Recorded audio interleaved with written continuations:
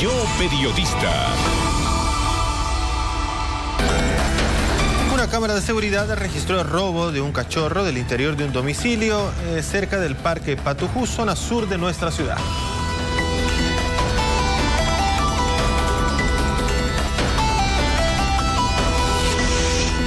Varias ovejas cruzan la avenida Virgen de Luján a la altura del noveno anillo, obligando a los conductores a detener sus vehículos.